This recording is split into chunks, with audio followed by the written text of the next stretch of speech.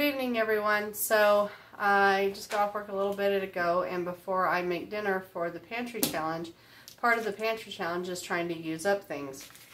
So I have two of these seasonings. One of them is a basil balsamic, balsamic veggie marinade mix, and the other one is a garden herb veggie marinade mix.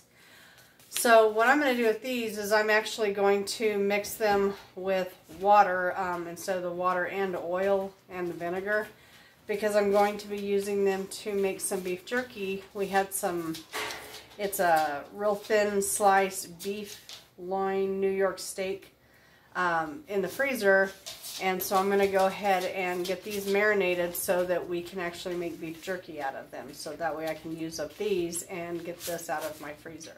So let me show you what I'm going to do on that. Okay, so I've had this thawing in my refrigerator for a couple days and it seems pretty thawed out now. So what I'm going to do with these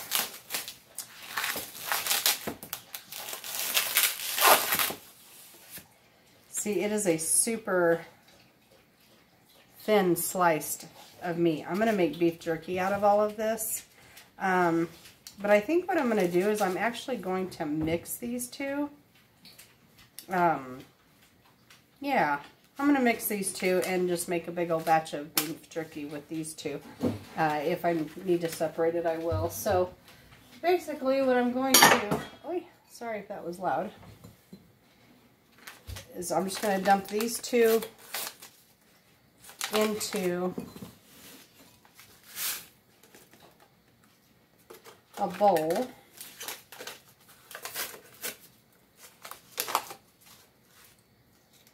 So they are different colors, but I think the two flavors together are going to be really good.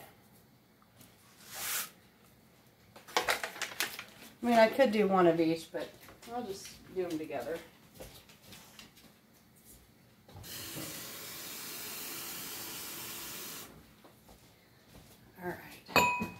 Uh, I'm just basically going to make it pretty liquidy.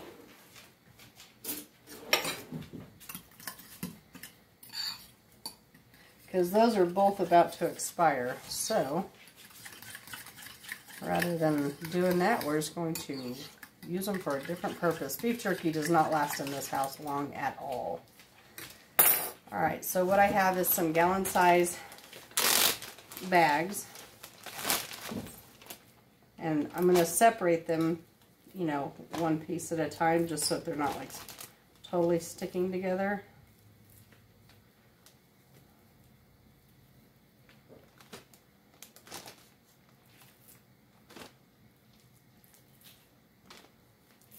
I love how thin those are.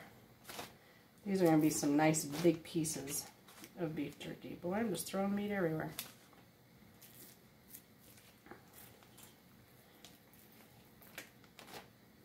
Yeah, these have been in my freezer, and I don't want them to get freezer burned or go to waste. I meant to do it when we first got them, and of course I didn't.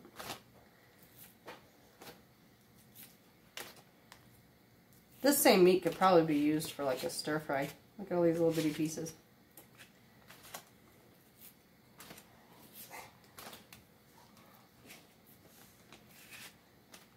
Yum.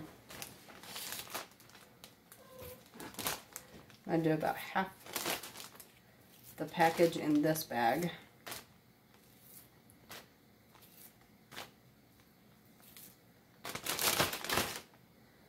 That's probably about half.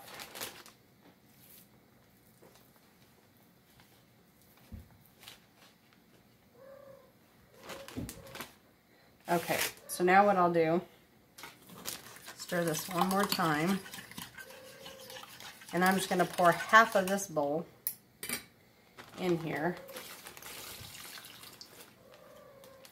And I'll seal it up.